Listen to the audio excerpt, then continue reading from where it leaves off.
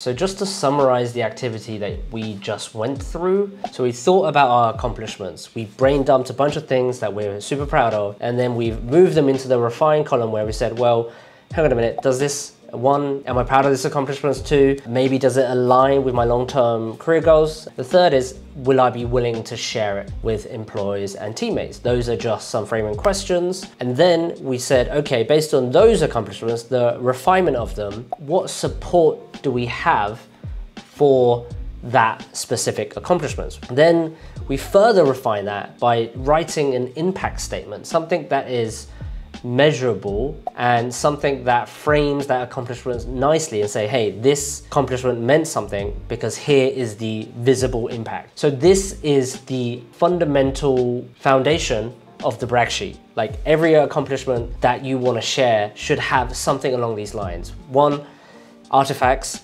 to a statement that says this is why this is important. There is a full guide on this that goes uh, more detail and there's also lots of lots of examples and there's a template for you. Feel free to put your accomplishments in that. So now you have a running log. In your actual brag sheet, outside of this workshop, it would be cool to have a screenshot. It would be cool to capture that just because so you have it for personal record and you're like, okay, like here's this great comment or here's this dashboard. It's a really good practice that I like to do and uh, encourage you guys to kind of keep this habit going. Once you've like logged a really good win, you can say, hey, all right, that's going in the brag sheet.